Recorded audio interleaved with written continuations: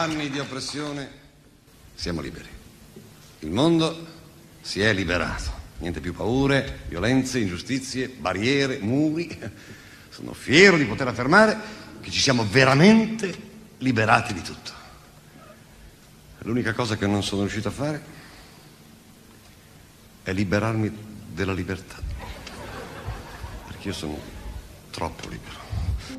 La libertà, questa dimensione umana per la quale l'uomo ha versato fiumi, fiumi di sangue, basti pensare alle due guerre mondiali del XX secolo, eh, questa dimensione così importante dell'essere umano che in qualche modo dà vita alle nostre Costituzioni, alla Dichiarazione Universale dei diritti dell'uomo. Oggi parliamo proprio di questo tema sotto uno dei simboli della libertà bolognesi, il patriota del risorgimento nonché sacerdote Ugo Bassi che per la libertà ha versato il proprio sangue e la libertà, come ci dice Bassi, è sempre di là, dritto.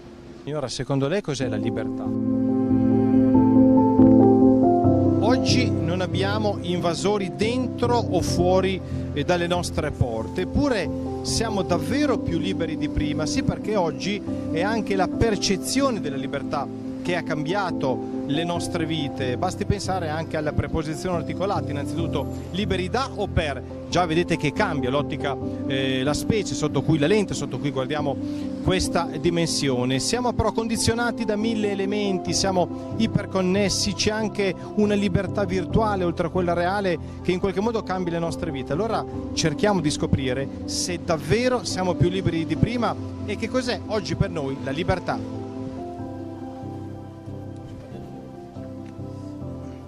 Volevo chiedere, secondo lei cos'è la libertà oggi?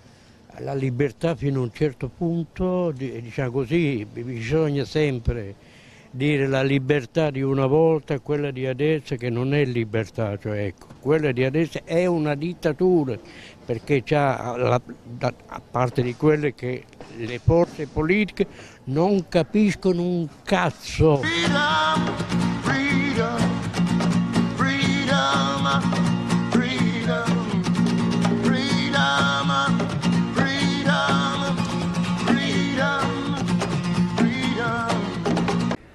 Uomini pensano sempre di essere più liberi rispetto al passato. In realtà è semplicemente perché guadagnano libertà rispetto ad alcune cose che c'erano prima e, e dire, si affrontano nuovi, nuovi, limiti, nuove cose che prima non, non venivano neanche prese in considerazione.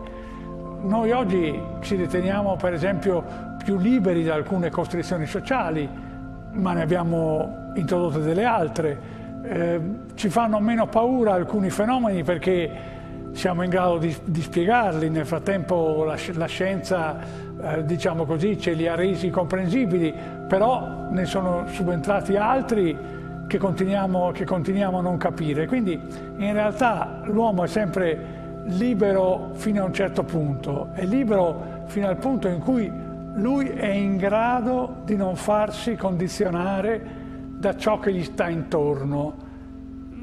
Questo non nel senso di fare quel, quello che vuole, perché questo non è possibile, ma nel senso di poter decidere come comportarsi a seconda dell'analisi che fa delle, dei problemi che incontra e delle limitazioni, de, de, de, delle contingenze, delle contingenze che ha intorno. L'uomo libero è quello che riesce ad agire in questo modo. E non sanno cosa vuol dire i sacrifici tutto sommato eh, abbiamo la libertà e la possibilità di fare ciò che vogliamo perché c'è maggiore consapevolezza delle nostre capacità, anche se in realtà eh, diciamo, la nostra libertà è condizionata dal giudizio degli altri, perché comunque sui social eh, c'è sempre una ricerca di approvazione quindi diciamo, eh, bisogna avere l'intelligenza di superare questo limite che è appunto eh, l'approvazione degli altri per tirare fuori quello che siamo perché il mondo, soprattutto grazie a internet, ci offre la possibilità di approfondire tutto ciò che vogliamo e tutto ciò che vogliamo essere. La libertà è un dono di Dio, la libertà di Dio che ci rende liberi, secondo me, ci ha ricreati liberi.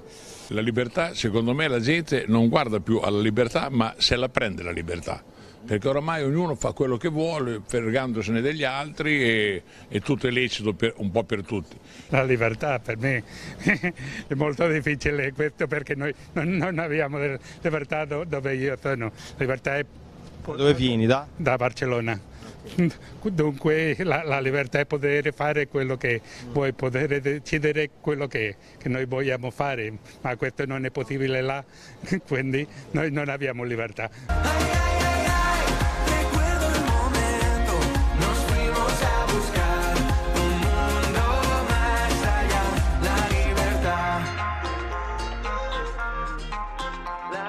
Oggi secondo voi il cellulare rende più liberi o più schiavi? Più schiavi, più schiavi, quello senz'altro. Infatti lei l'ha preso in mano. Infatti, la prima cosa che si fa è sempre controllare il cellulare.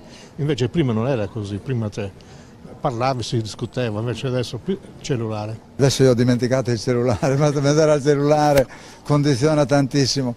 Io ho fatto un eh, campo con i ragazzi e gli toglievamo il cellulare e tutti lo lasciavamo solo la sera, la notte, ma era un un grosso sacrificio per loro. E poi delle cose, se ci sono i soldi si fanno, se i soldi non ci sono non si fa, non si fa, ecco. Secondo me siamo più liberi oggi rispetto ai nostri padri.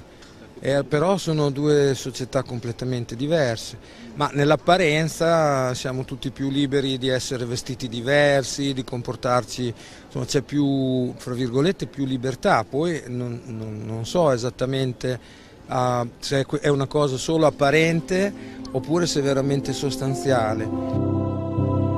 Queste persone sì che avevano un alto concetto del valore della libertà.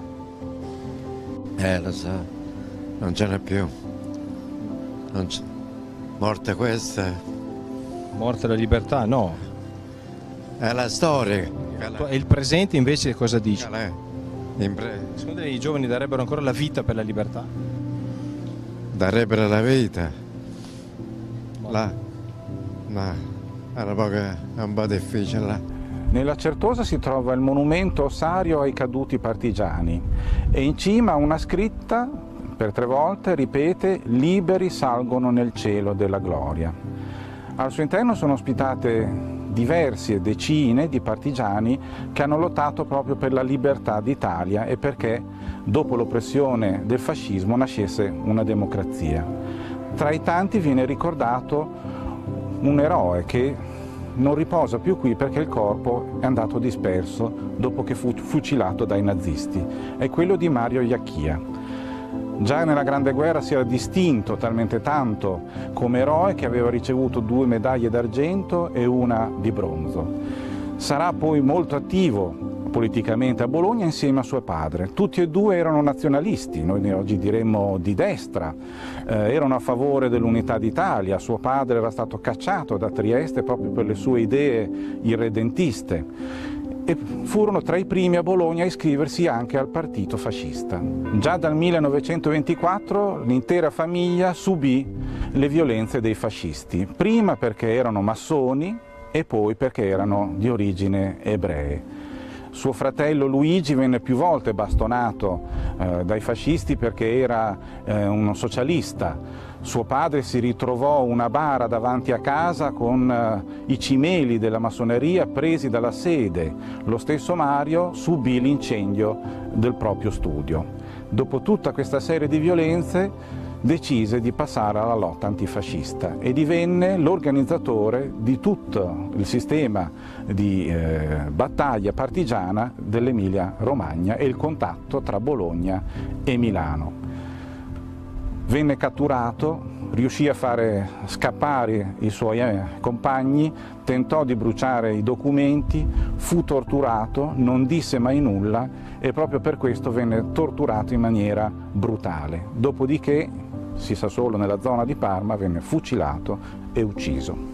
Pigliamo quelle che viene oh, e si spera che... Un po' più di libertà c'è, il problema è manca, uh, mancano le prospettive del futuro, questa libertà manca, cioè di dire io nel futuro farò questo oppure farò quello, perché mancano, mancano purtroppo il mondo è cambiato e non, è, non in meglio però all'apparenza sembriamo, sembriamo, più liberi, sì, sì, sì. Oh, tersua, gentilissimo ed amatissimo pubblico, ecco il dottor Balanzan, il dottor Balanzone che viene a voi con una grossa novità.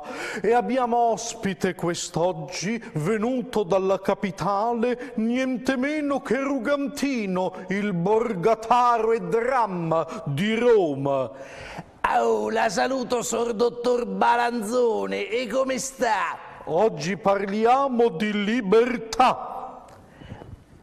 Che è la libertà? Mo te lo spiego, diceva me ne piglio e me ne frego. La libertà d'un popolo è compagna all'acqua che vi è giù dalla montagna. Se la lasci passare dove gli pare, se spreca nei fiumi fino al mare. Ma se c'è chi la guida e la riduce e l'incanala verso l'officina, appena arriva smuove la turbina, diventa forza e si trasforma in luce. Signore, voi vi sentite davvero libere? Che bella domanda, da un milione di dollari. C'è più libertà oggi o c'è più libertà un tempo? No, c'è più libertà oggi. Libertà da o per? Vabbè, oh qui andiamo un po' nel difficile. E loro che dicono le tasse, le tasse di qua di là, sono loro i primi ladri. Vengono a controllare un pensionato che prende 800, 800 euro. Eh? Il football americano, la squadra in cui te dà libertà? Sì, abbastanza. Allora, di, di, fracassare le ossa sì. agli avversari? sì, esatto. No, beh, la libertà comunque è quella di poter giocare, divertirsi, ti senti completamente libero, non pensi a niente quando sei lì, però devi stare attento perché sennò ti frantrumi le ossa.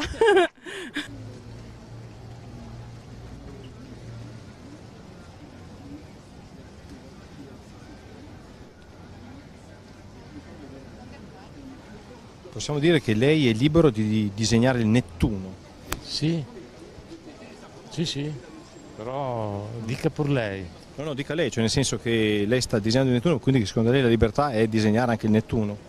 Mi interessa la sua domanda, la libertà è legata a che cosa? Quindi a una possibilità della persona sì. di esprimere... Sì, sì, come concetto, come valore universale, sì. Sì, certamente. Se si sente più libero prima, oggi, se secondo lei c'è più libertà oggi rispetto... L'arte dà libertà, perché quando non è imposto un dog, un, mm. tu non puoi disegnare quello, allora non è più libertà. Cioè, eh, secondo me. Grazie comunque. Vuole dire una cosa su, su qué argumento? Yo soy español, ¿no? Me está gustando mucho el paseo, pero lo que observo que se abandonan los políticos en las zonas turísticas y ayer por la tarde le robaron a mi mujer en la torre de Pisa su móvil, ¿no? Entonces eh, es una cosa que se nos llena la boca o se les llena la boca a los políticos de que esto, de que el tal, de que esta ley, saco esta ley, de que no sé qué, y luego no había más que dos policías en toda la plaza allí de Pisa, miles de personas por, por la plaza, y se aprovechan de que cuando estás tirando una foto, ¡pum!, vienen y te roban, ¿no? Entonces es muy doloroso, ¿no? El eje... ¿La policía aquí? Sí. Ah, no, no, no, la policía allí, en Pisa, en Pisa, en Pisa, en Pisa. Entonces eh, te vas a casa, te vas a, a, la España con un mal sabor de boca, como decimos, no es muy triste y no y no ponen solución, no ponen solución, no, no, no había no había policías. Eso sí, existía un furgón, denuncia y tal, pero niente, niente policía. Niente policía. Libertà, gracias, gracias, muchas gracias. Nada, nada, nada. La libertà dunque anche parlare di Pisa quando domanda dei problemi di sicurezza di Pisa quando domanda un'altra, però qui a Bologna invece la sicurezza c'è e questo dà libertà al turista spagnolo.